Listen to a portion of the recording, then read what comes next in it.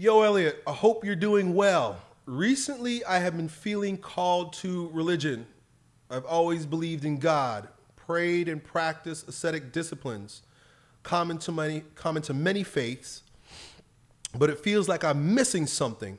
I would like to submit to a definite path, but I can feel Satan is trying to talk me out of it.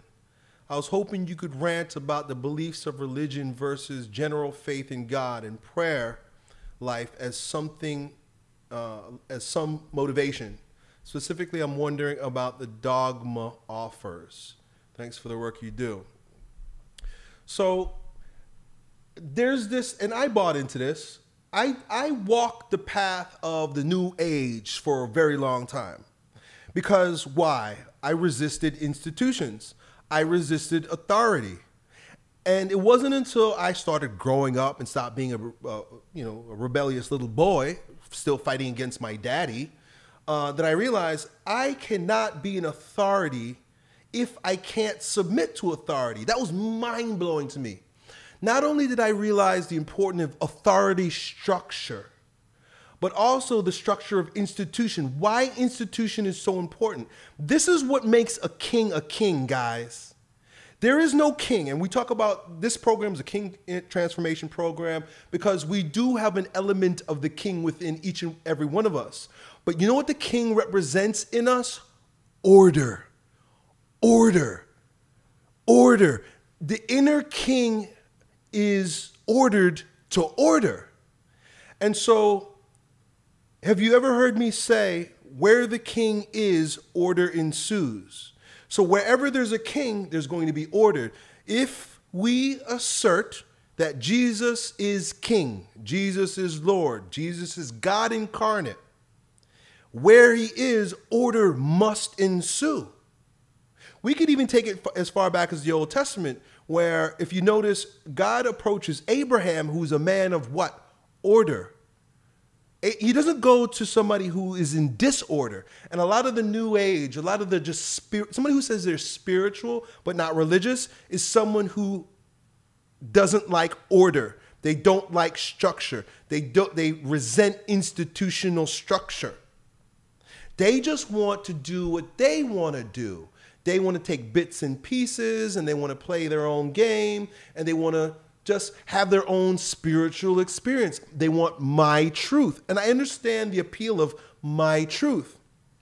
But my truth has no foundation, it has no tradition, it has no authority, it has no structure, it has no history. It's just my little ego making up whatever I want based on what I see here, like and and and and experience.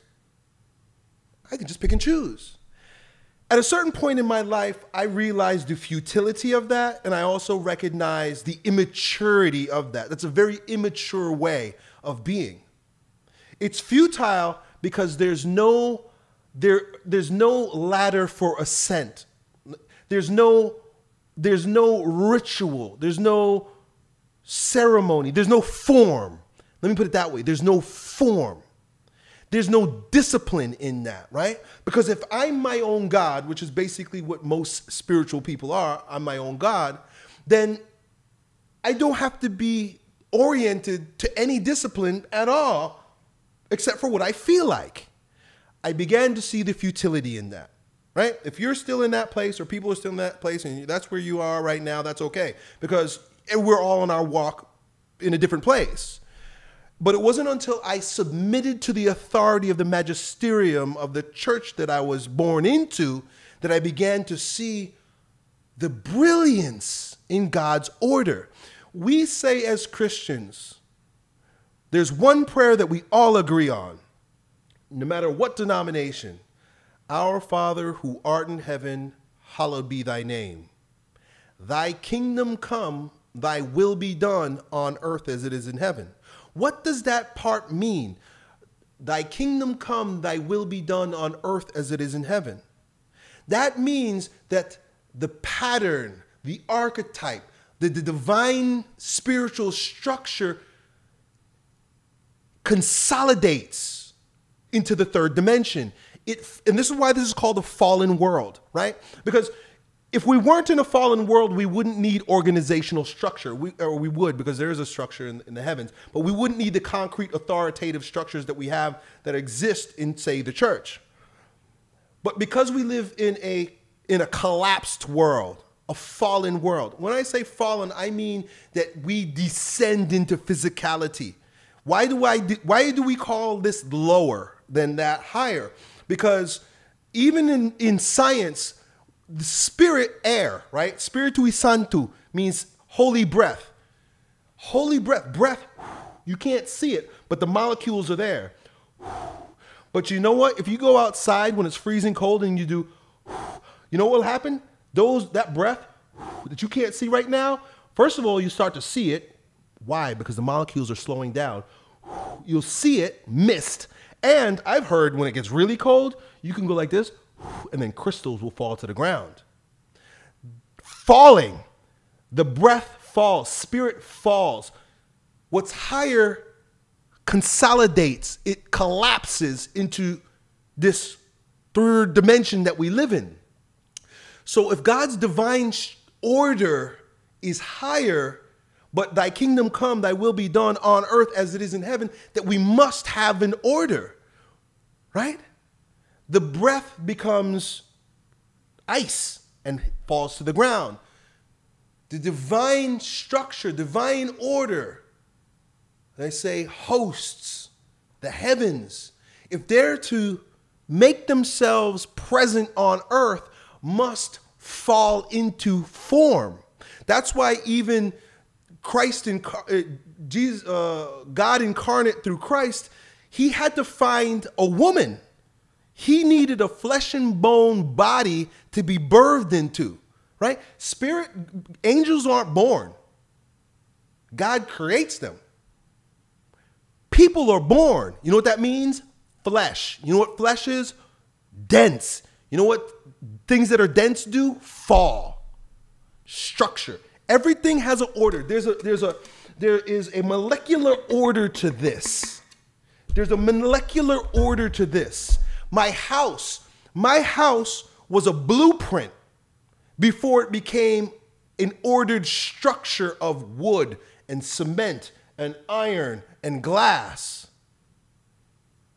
There is no religion without institution, without authority. You can't get there from here. I don't care what the Zen Buddhists say about you sitting down and reaching nirvana. Maybe some special people are given graces to make that happen. 99.9% of us need discipline.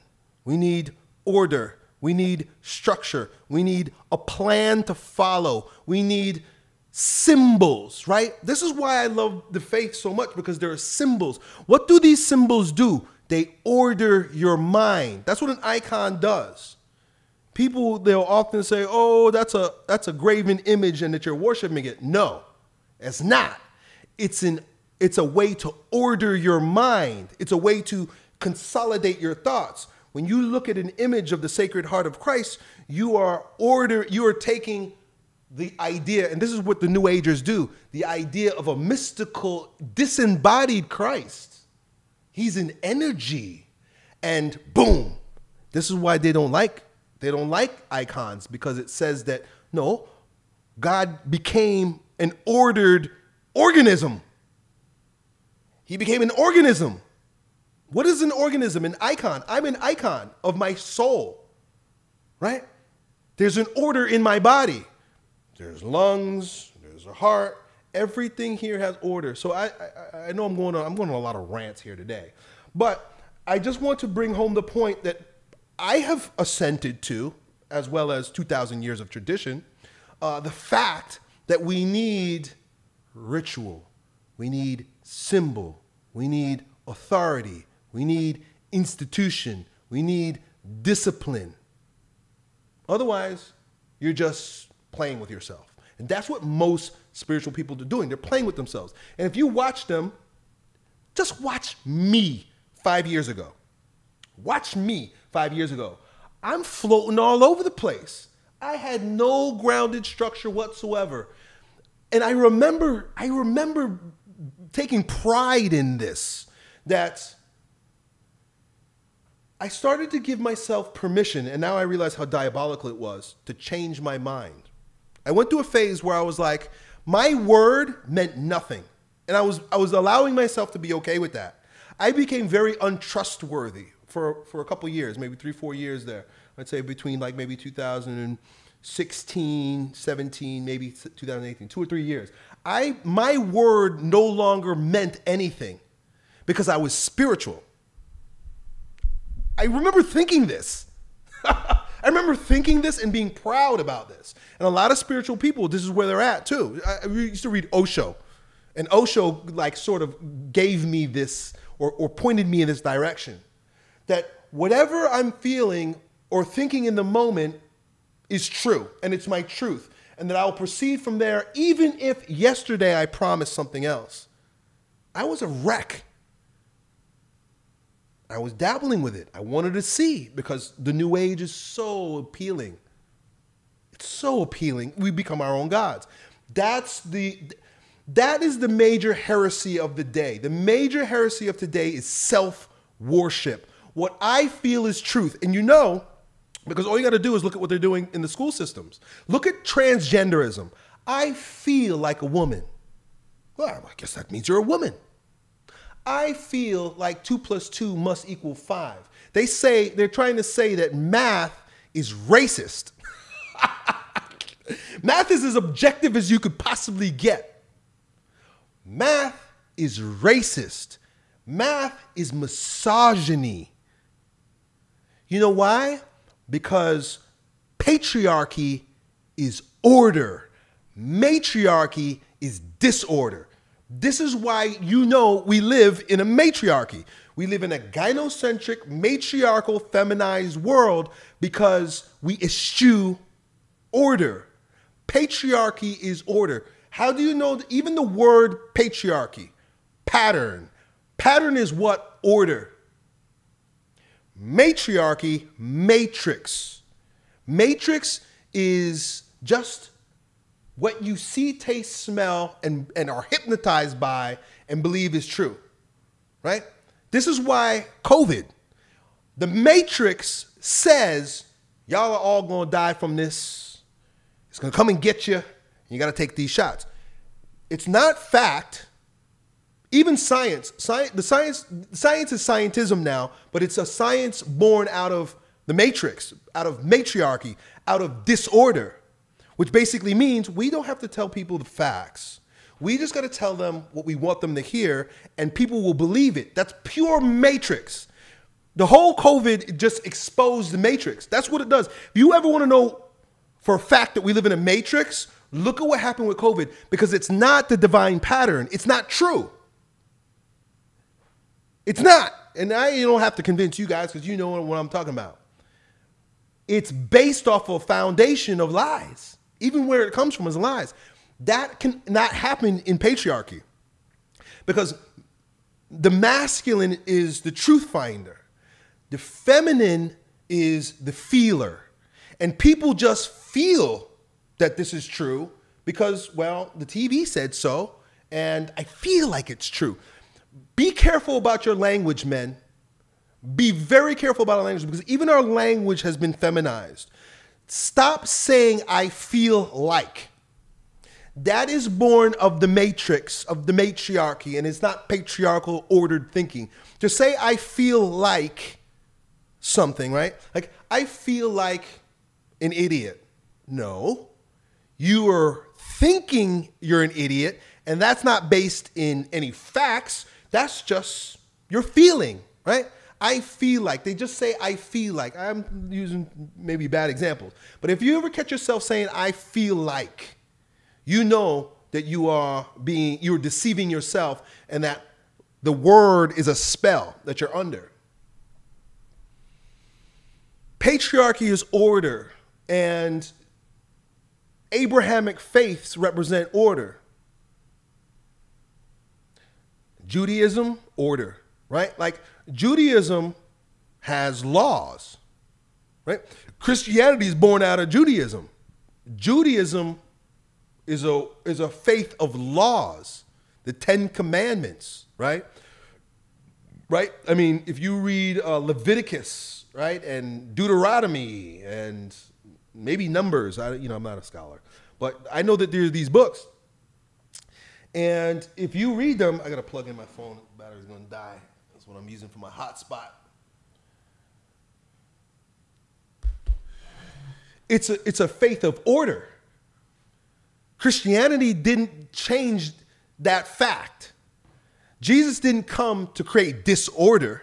He came to rectify the decrepit order that had grown stale and, and, and form without function. Right? That's what happens when something becomes uh, uh, necrofied. What is that like? Um, all, old and stuck. It means it no longer has the, the, the power that it had it's just stuck form, right? And so Jesus had to come renew that form. And he's like, you guys, you guys have arthritis in your form. You gotta, you gotta work out that arthritis. That's not, that's not life-giving form. That's not life-giving order. And so he came to, he came to elevate the order because Jesus was the first one to say that it's not even what you do, it's what you're thinking about doing that's important. He took it to that next level. He said, order your minds and order your hearts. That's huge. That was huge because there was a lot of people that was doing the things. Yeah, I'm doing it. I'm doing it. I'm doing it. But their mind and their heart were in the wrong place. Jesus was like, no, no, no. Oh, hold up. You got to order this and you got to order this first. And then what you do proceeds from that. So he elevated the order. Let me see if I'm answering your question. He says, I would like to submit to a divine path. Catholicism, my man, I mean, I have to say where I'm at, what I believe, right? There are paths. I mean, I think the Buddhists have the eightfold path, but like, you do whatever you want. But to me, the Western tradition, the 2,000 year faith born of the Christ, the God man, who fulfilled prophecy and established his church on a rock named Peter. And he said, Peter established this order with my disciples, these apostles, and go and feed my lambs, feed my sheep, proclaim the good news. The Catholic Church is born from that seed. Every other church, I, I, I took, a, I got a meme right here, and I'm guys, I'm just ranting today. You guys are the ones that are asking me about religion, so I'm just telling you, I'm answering your questions. Did I take a picture of this? Yeah. Who started your church? Lutheran, Martin Luther. Anglican, Henry VIII. Calvinist, John Calvin. Presbyterian, John Knox. Uh, Episcopalian, Samuel Seabury. Baptist, John Smyth, so on and so on and so forth. All these religions are created by men. Catholicism, Jesus Christ. If I'm going to submit to an order, if I'm going to submit to an order, it's not going to be John Smyth's order. It's not going to be Mary Baker Eddy's order. It's not going to be Chuck Smith's order, right? Or Martin Luther's order, right? That's their religion. If I, like you, who are, listen, I resist but I've assented. But if I'm going to do it, it better be worth it. And that's why I go back to the age old, 2,000 year old tradition of the church Christ established. It's the only church Christ established. You could do all the research you want about who created what church and come to the conclusion that Christ only created one Catholic Church. So, and I would say, or I, I, I, like to put Orthodox in there together. And I think at some point the Orthodox and Catholic will perhaps come back together again.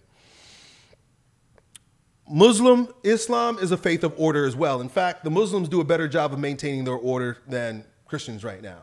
Don't want to go too far down that rabbit hole because I don't know enough, enough about it.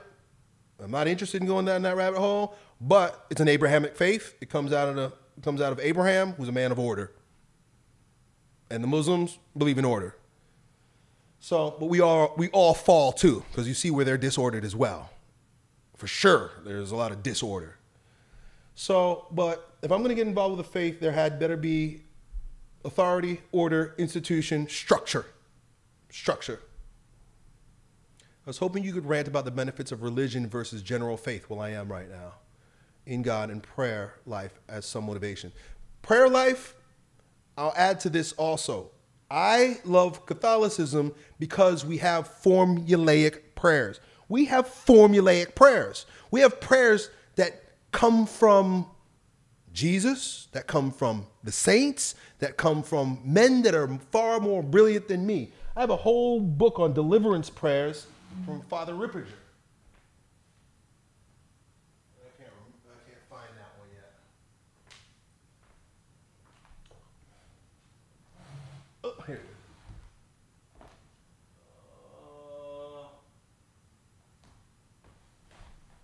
Uh, uh.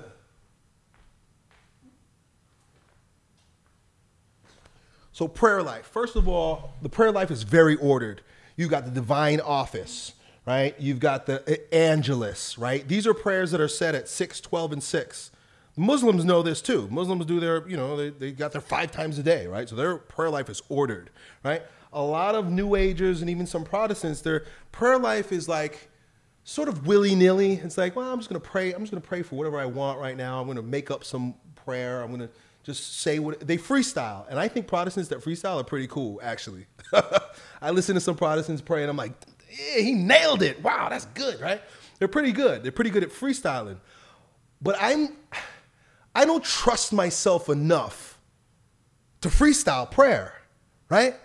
Again, this has just become I don't want to become proud in my humility, but it's only because I've humbled myself that I could say the things and, and proceed in the way that I do right now. Only because I've humbled myself, I say, you know what? I better not freestyle prayers, right? I want to get it. I want to get it right, and if I'm going to get it right, I'm going to get it from the pros. So I have this little book here where I've got all, all my favorite little, all my favorite prayers, right? And and they're all like they're written by saints. I'm going to give you, you know, a short one from.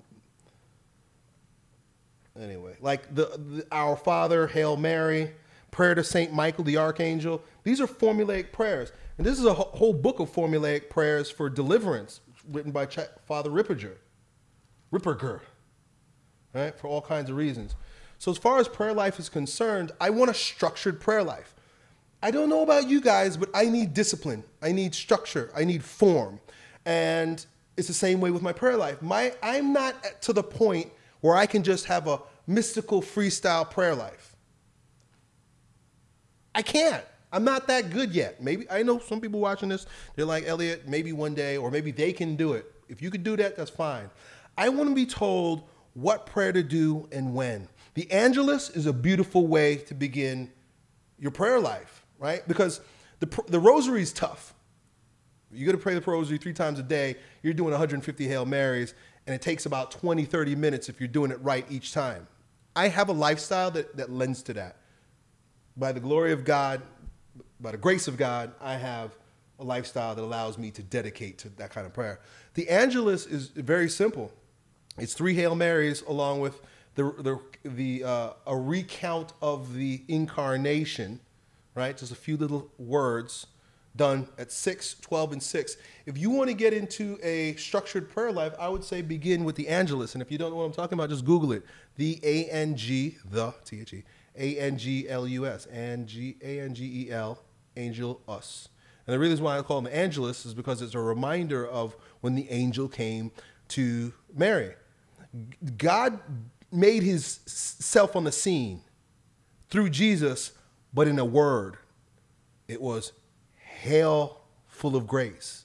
Those are the first words that that's like the trumpet that sounded Jesus is coming. It was the angel Gabriel whispering to a 15 year old girl saying, Hail, full of grace. He's basically like waking up Mary. He's like, Hey, girl, you are full of grace. The Lord is with you. And, and then he asked her hand in marriage, essentially, right? The incarnation. So it's just a reminder of that at 6, 12, and 6.